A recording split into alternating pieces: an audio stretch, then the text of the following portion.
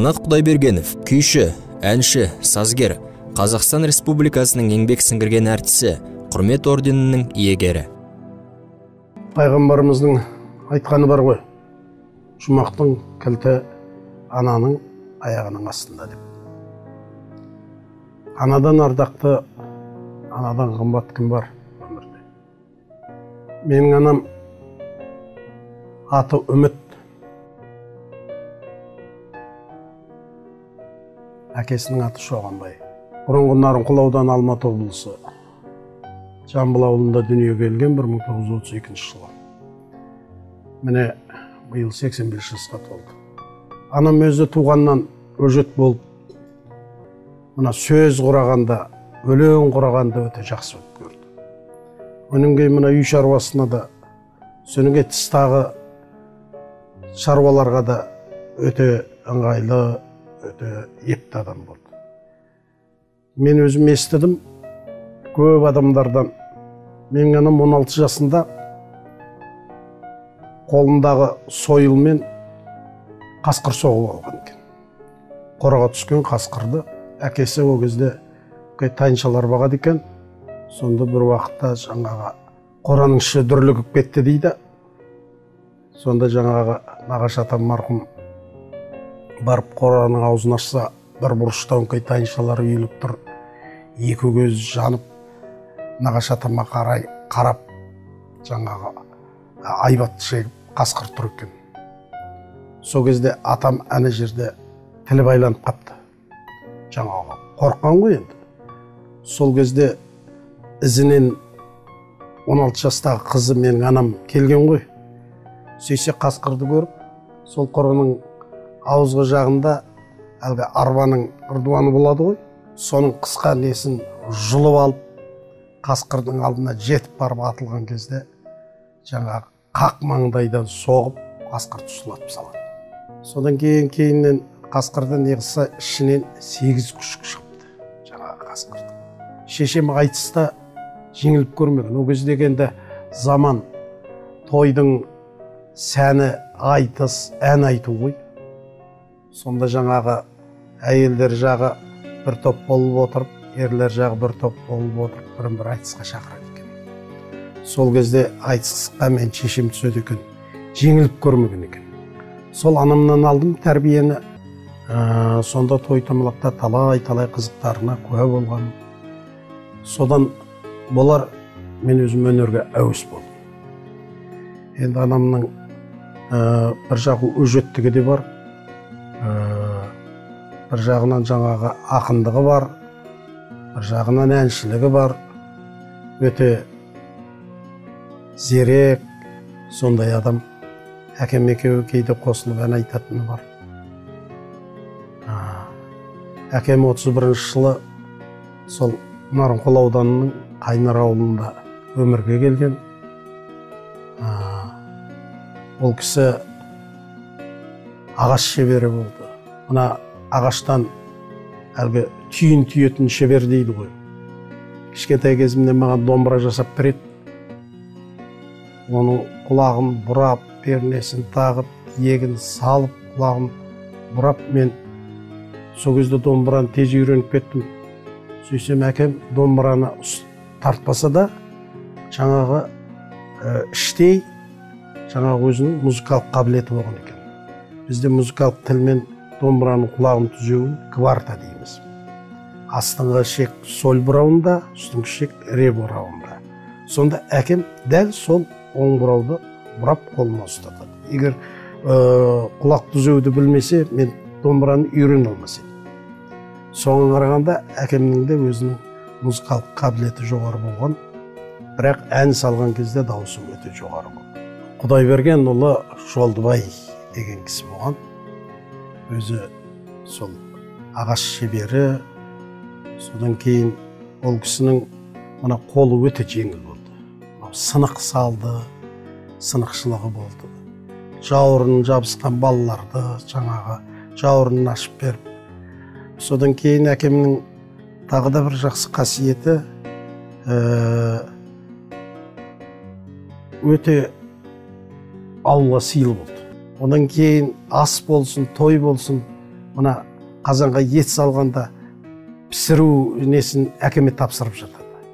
Жолдыбайдың пісірген еті тәтті болады деп жаңағы.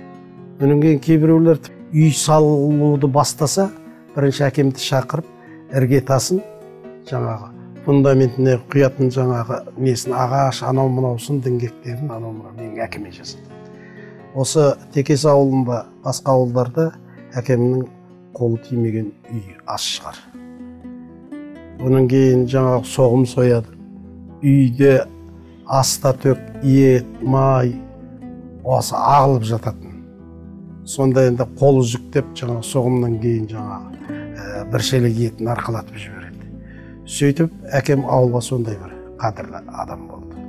Енді әкемнің әкесі негізінде діндар сондай тақуа адам болған ол кісі де сол ағаш шебері болған. Сол әкем кішкентай кезінде құдай берген адам өгізге мініп жүреді екен сонда менің әкемді мінгестіріп алып ертіп жүреді екен сонда ауыл ауылды аралап жаңағы кел шауып ер шауып жаңағы қолөнер бұйымдарды сол атамнан менің әкеме жұққан жаңағы шеберлік.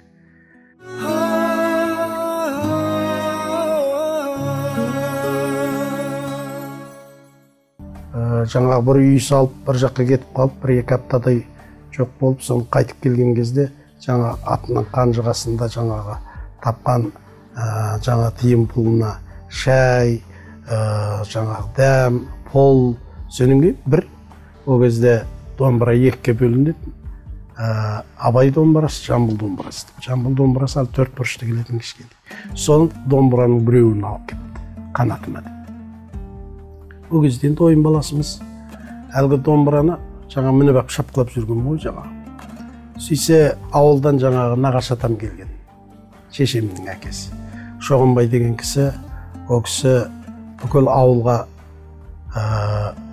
сол елге белгілі шежіре сол атам келе қалды соны мені көріп жаңағы домбыраны мініп алып шапқылап жүрген соны домбыраны алып кетіпті мына балаға ескірген кезде өзім алып келіп беремін төртінші сыныпта оқып жүрген кезім иә төртінші сынып велосипедтен құлап аяғымды сындырып алдым сонда төсек тартып жатырмын ғой жаңағы әкем бірінші жақсылық деген сынықшыға апарды да ұстатып жаңағы қолына ақтығын беріп үйге алып келіп жаңағы шешіп қайтадан өзі сылап жаңағы майлап бүйтіп саусағымен өстіп неғып отырып жаңағы сынықтарды келтіріп орын орнына содан кейін жаңағы фанераның қабаты болады жұқа. Соны бүйтіп жіңішкелеп қойып қалап сыртынан марльмен орап арасына жаңағы жұмыртқаның сарысын қосып одан кейін жаңағы таудан үнемі ана мумия дейді ғой тас сағызы. Соны алып келетін. Ол кісі оны дәнекер дейді. Соны жаңағы жұмыртқаның сарысын араластырып жағып отырып орайды. Сол тез бітіреді екен сүйекті. Сөйтіп өзі жазып алды. Сол кезде енді аяқ сынып жатыр дегенде естіп нағашы атам ауылдан атымен ана жамбыл ауылы текес ауылы екі ортада бір тау бар қысаң дейміз үкірші дейді сол жерден келіп жаңа домбыраны алып келіп мен жатқан кезде қасымда отырып кәдімгідей бір жетідей домбыра тартып отырды. Сонда құлағыма жаңағы домбыраның үні сіңіп ә, содан кейін кетерінде жаңа қолыма ұстатып міне енді домбыраңды алып келдім деп жаңа қолыма беріп сонда ең алғаш мен жаңағы бір домбыра тартқаным есімде содан бастап домбыра ұстап кеттім содан кейін мектеп қабырғасында үлкен жаңағы көркемөнерпаздар үйірмесі дейді сол жерде үнемі домбырада ән айтамын. Мектеп бітіргенше сол мектептің қоғамдық жұмысы көркем өнерпаздары содан қол үзгенім жоқ. Үлкен үлкен осы оперный театрда жаңа нарынқұл ауданының жаңа үлкен бір концертінде де жаңа маған барлық инструментті алып берді әкем мен шешем баян дедім баян алып береді гитара дедім гитара домбыра дедім домбыра. Мандолин деген инструментте де ойнадым жаңағы аспапта. Сөйтіп әке шешемнің арқасында сол өнерге аяқ басып өнерді осылай алып кеттім. Менен кейінгі інім қайрат та сол өнерде мектеп бітіре салып москвадағы луначарский атындағы театр институтына барып түсті. итс деген соны бітіріп келді. Көптеген киноларда ойнайды одан кейінгі қарындасым мына қаскелеңдегі музыка колледжін бітіріп кейіннен мына шымкенттің өнер институтын қобыздан бітіріп балаларға сабақ беріп сөйтіп жүрді. Тек ә, талғат деген інім алпыс алтыншы жылғы. Ол ән айтып жаңағы тілге сондай жақсы болды. Домба ол да әкем сияқты домбыра ұстамады. Не бір аспапты ойнаған жоқ. Ә, сол халық театрында кәдімгі актер болды содан кейін бигүл деген қарындасым ол да сол өнердің нағыз орта ортасында жүрді халық театрында. Одан кейінгі нұргүл деген қарындасым ол да сол музыкалық нені бітіріп осы мына ә, тұрмысқа шыққанда сол алдындағы мектепте домбырадан сабақ беріп енді жалпы ә, балалардың бәрі менен кейінгілердің бәрі осы өнердің тұтқасын ұстады.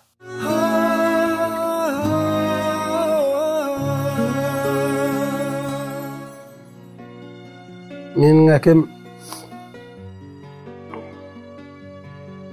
өте балаларға жұмсақ болды ә, дауыс көтермейтін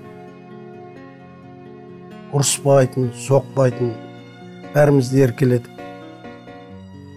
Жаңағы мені кәкітай дейтін. Кәкілай әй кәкілай деп сөйтіп жүретін. Ә, қалған балаларға да сондай жұмсақ болды. 83 жылы аяқ астынан кенеттен өмірден озып кетті елу екі жасында.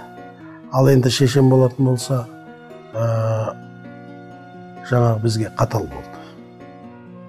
Ол кісі кейде жаңағы көсеуі болсын оқтауы болсын кейде ол кісінің таяғын да жеп алатынбыз ә, бірақ ол кісі де жұмсақ бәрімізге не қалаймыз десек соны алып беріп сөйтіп жүрді.